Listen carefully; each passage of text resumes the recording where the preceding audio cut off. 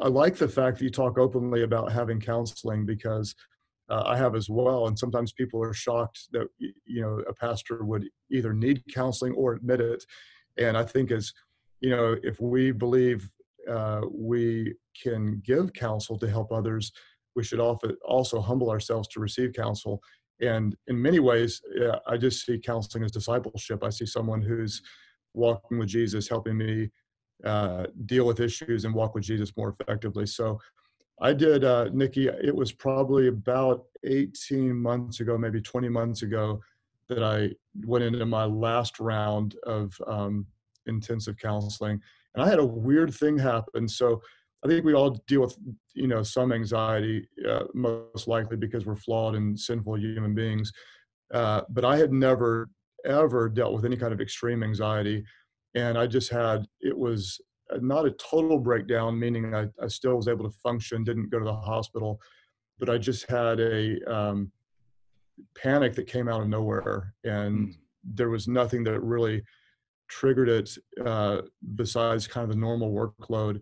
Looking back on it, my counselor and doctor said I just pushed my body past the limit.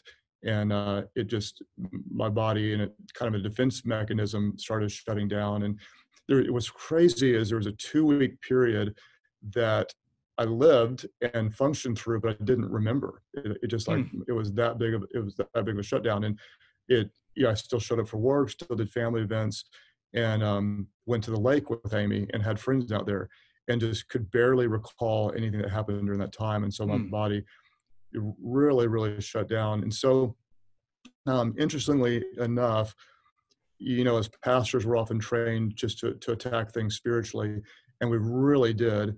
But we also took a holistic approach and looked at scheduling, rhythms. Uh, I'm real strict on my diet and exercise, but even looked at that, looked at supplements, looked at my um, uh, different uh, phys- physical levels, that, you know, from a um, medical perspective.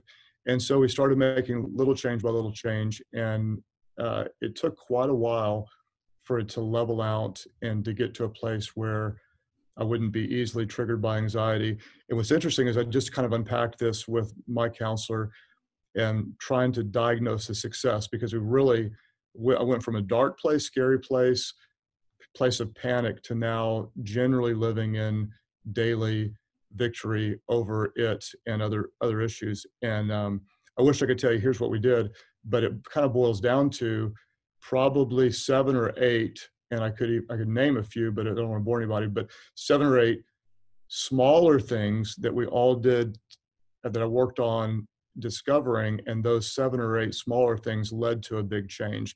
It wasn't one thing, but it took a lot of things, and so ultimately, you know, it's embarrassing to say, but um, in my dysfunction of how I was raised, some people's dysfunction puts them out of play. Others, it drives them to do things that are um, maybe a little bit more extraordinary, uh, but it's still dysfunction. And it's yeah. and although mine worked for me in terms of getting things done and making an impact, it ultimately caught up with me. And now what I want to do is continue to have a big impact, but do it out of a healthy mindset um, rather than an unhealthy one.